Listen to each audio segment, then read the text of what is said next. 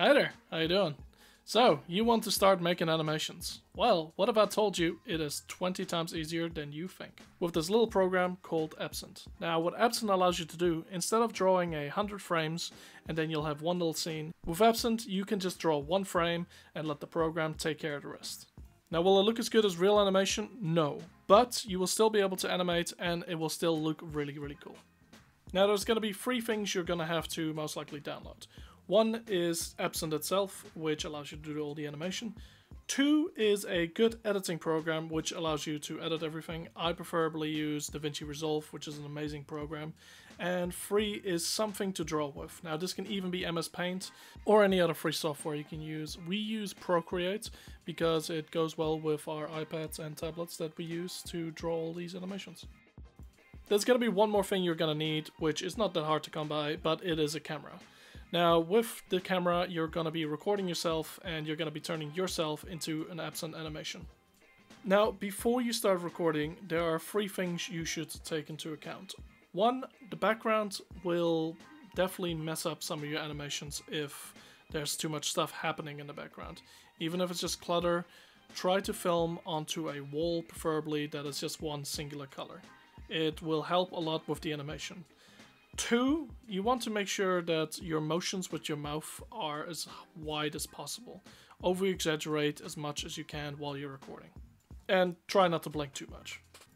And number three, if you want to have your character have a hat or something along those lines, you must actually make sure that your character that you are recording has a hat. Because you can't actually draw a hat onto the character unless there's an actual physical object in the real world that you're recording. Same thing goes for any props you have, for example my wizard staff or any of the guns that I've used in my animation. I use all of those just to actually get a reference. They usually are toy guns or anything like that, so the color doesn't matter because in the EbSynth animation it will look completely different. You basically just need to shape. You can even cut out some stuff with cardboard and make it look like a gun or something like that. So after you record it and you're happy with what you got with your little skit, the next thing you're gonna have to do is change that video into a whole bunch of images. Now I'm gonna show you how to do this with DaVinci Resolve. There are a lot of other ways of doing it, so if you have any other way, just do it that way, but I'm gonna quickly show you how to do it with DaVinci Resolve. So first things first, you want to grab the footage that you just recorded and put it in DaVinci Resolve. Cut it down just to the size you like it, and after that go into the Fusion tab right here. Now after the Fusion tab, you will want to hit Control Space. Now once you hit Control Space, a little thing will pop up and you will want to type in Saver over here.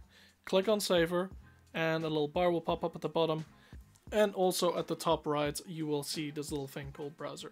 Now hit that Browser button, select where you want to save and make sure it's somewhere that you know where it's going to be so don't just save it anywhere random. Make sure you know what's going to be name your file and then also end it with .png so you have a nice PNG file. Afterwards go to the top right here, hit Fusion, then hit Render All Savers. Now what this will do, it will change the entire footage that you have into singular images for every single frame. Once you're fully finished with that, head over to the file that you just created, copy it, and then go into the copied file to select which image you want to use as your main key image. Now the key image is the image that you're going to be drawing over and with this image you will be able to make the full animation. Now make sure the images you choose, the mouth is quite wide open and your eyes are also open. Those are the main things you really need to look at. Now the reason also we copied the file is because with this copied file, we want to delete every single image that is not the key images. Now, you can have multiple images and it will smoothen out the animation process, but it is up to you how many frames you want to use. Just remember, the more frames you actually draw, the better it ends up getting. Speaking about drawing, let's get into the drawing part right now. Now the drawing part might take a while, but it's also pretty simple. The only thing you need to do is draw over all of the images that you just saved on that copied file. Just make sure that when you're drawing that the mouth and eyes, like stuff that basically moves lots is lined out properly, while stuff that sort of stays still, you can have a little bit of leeway with and like maybe put some wrinkles there or maybe a scar or something like that. Now, personally, I actually really cannot draw, but a friend of mine can, so I actually conned her into doing all of this with me. So yeah, thanks by the way, buddy. Anyway, after the images have fully been drawn, you want to go back into that copied folder and you want to put all the drawings in that copied folder. Now rename all the drawings to the images that correlate with the drawings. Then afterwards, the only thing you need to do is put them into the EbSynth program. When you put them in the EbSynth program, make sure the original file, that's not the copied one, goes straight into the video. And then the keyframes is the copied one that you just made with the drawings on them. And then you just hit run all and it should be absolutely fine. You just have to wait a little while because this program will take a little bit of time, but afterwards you have your animation. Now your animation is gonna come in these little files right here. Just grab them, chuck them straight into your editing program, and you should have a nice little layout of an animation. If you made multiple keyframes, you will actually have multiple of these files. So what I would recommend doing is grabbing those files and just making sure they sync up to the other files and then fuse them together as one big clip.